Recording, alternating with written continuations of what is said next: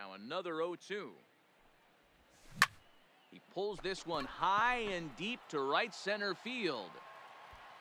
Out of here.